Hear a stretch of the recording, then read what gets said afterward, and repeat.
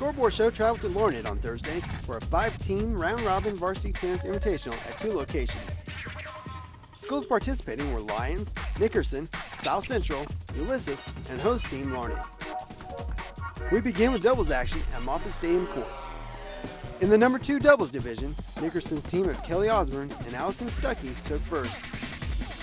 Sierra Salinas and Allie Dwyer of Lyons took second. And Catherine Spare and Kathleen Myrick of Larned took third.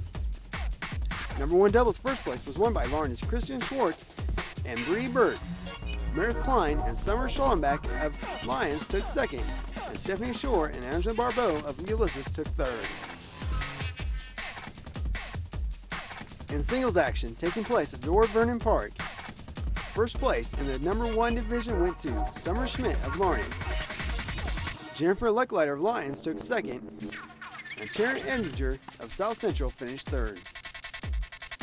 The number two singles, Holly Combs of Nickerson took first. Raven Roth of Larned finished second, and Hannah Hurd of South Central took third. Team totals had Larned in first with 34 points. Lyons finished with 26 points for second. Nickerson took third with 22 points. South Central took fourth, and Ulysses fifth.